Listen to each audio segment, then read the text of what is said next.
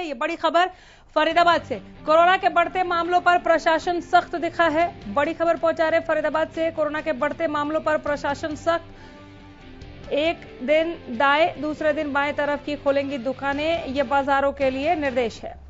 नियमों का उल्लंघन करने पर काटे जाएँगे चालान। फरीदाबाद से बड़ी खबर, कोरोना के बढ़ते मामलों पर प्रशासन सख्त।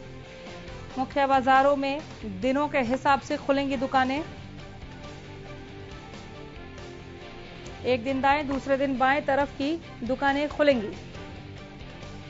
नियमों का उल्लंघन करने पर काटे जाएँगे चालान। बाज़ार के लिए सख्त दिशा निर्देश दे दिए गए हैं। फरीदाबाद में बड़ी खबर, कोरोना के बढ़ते मामलों पर प्रशासन की सख्ती दिखी है। मुख्य बाजारों में दिनों के हिसाब से खुलेंगी दुकानें। एक दिन दाएँ, दूसरे दिन बाएँ तरफ़ की दुकानें खुलेंगी। नियमों का उल्लंघन करने पर काटे जाएँगे चालान, ये भी खबर है। अगर किसी ने नियमों को ताक पर रखकर जिस दिन दुकान खोलने का, उनका नंबर नहीं है, उस दिन खोल दी दुकान तो उनके चालान होंगे। मुख्य बाजारों में दिनों के हिसाब से खुलेंगी दुकानें। जो मुख्य बाज़ार है, वहाँ दिनों के हिसाब से दुकानें खुलेंगी। एक दिन दाएँ दूसरे दिन बाएँ तरफ़ की दुकानें खुलेंगी। नियमों का उल्लंघन करने पर चालान कटेंगे। ये सख्ती है फरीदाबाद प्रशासन की, ताकि कोरोना को मात दी जा सके और ये मामले ना बढ़े। चूँकि कोरोना के बढ़ते मामलों पर प्रशासन सख्त हो गया है, फरीदाबाद से इस सख्ती की पालना किस तरह से हो रही है? जान लेते हैं हमारे संवाददाता राजा पटेल से। राजा, बताइए, क्या दिशा निर्देश है मुख्य बाजारों को लेकर?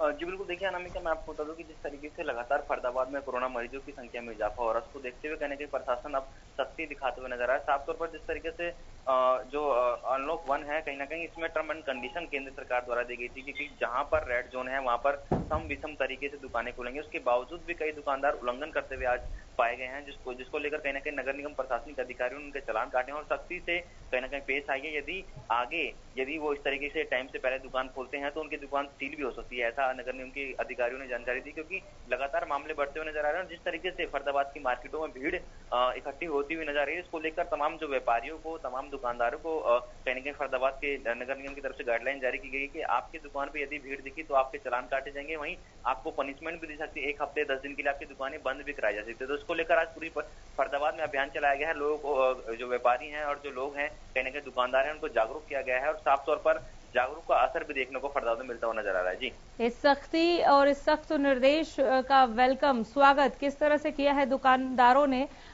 निसंदेह स्वागत तो किया होगा, लेकिन कहीं ना कहीं शेयर ज़रूर कर रहे होंगे कि कितना नुकसान हो रहा है। और इंतज़ार भी कि कब ये कोरोना हटे और इन, इनकी जो दुकानदारी है वो ठीक से चले। बात हुई आपकी?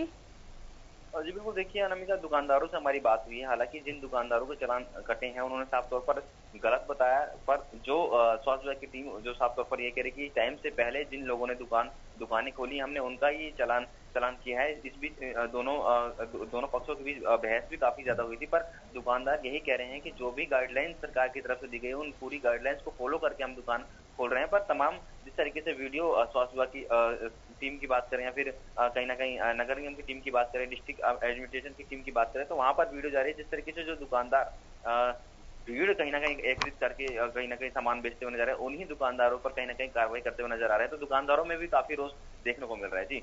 बहुत शुक्रिया। आपका राजा नज़र बनाए रखिए, ऐसे ही अपडेट के लिए लौट कर आते रहेंगे। फ़िलहाल धन्यवाद।